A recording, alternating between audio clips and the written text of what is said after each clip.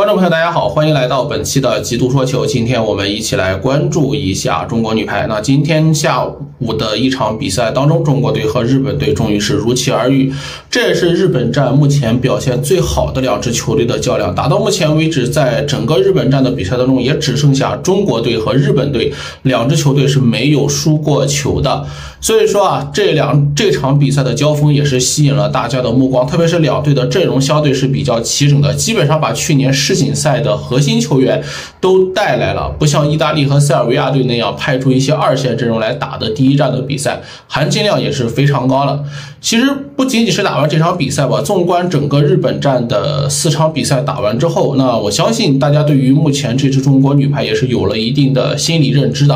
啊，我们能够看到球队方面的一些进步，比如说在这个球员的配合方面，包括个别球员在综合能力提升方面都是有所提高的。那也。看到蔡斌的执教风格也正在潜移默化的发生着一些转变，像去年无论是世界女排联赛和女排世锦赛，中国队的轮换幅度相对都是比较小的。那在今年的世界女排联赛里边啊，虽然说我们的轮换幅度放眼整个世界女排联赛所有球队去比较的话，依然是相对比较少的，但是比起去年来说，轮换的频率已经是有所增加了。慢慢的，蔡斌也正在给一些。呃，年轻的球员或者说是一些国际大赛经验不是很丰富的球员，以更多的机会，这个都是球迷喜闻乐见的。甚至这些比整个比赛的成绩是更为重要的。毕竟对于中国女排来说，啊，今年的世界女排联赛并不是我们最重要的比赛。我们最重要的比赛是在九月份，是在咱们中国本土举行的女排奥运会资格赛的比赛啊。那个时候的中国女排才是真正需要拿出成绩的时候。那打完与日本队的这场比赛之后，包括看。看到本场比赛的一些排兵布阵啊，也有不少球迷表示啊，有三位球员很有可能会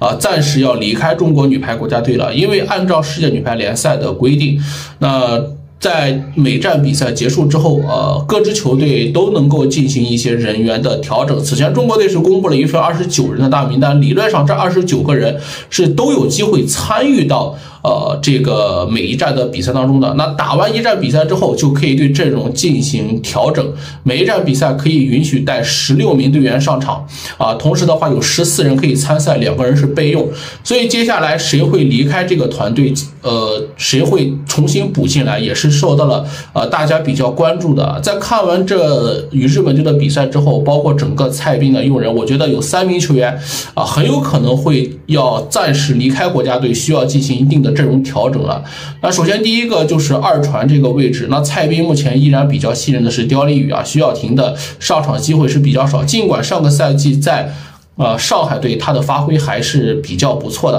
啊，不过可能是考虑到他的经验。呃，有一些不足吧。那他的上场机会并不是特别的多。呃，因为中国女排目前还有丁霞是处在总的大名单当中的，所以一旦丁霞能够回来的话，那调整二传这就是一个必然的选择。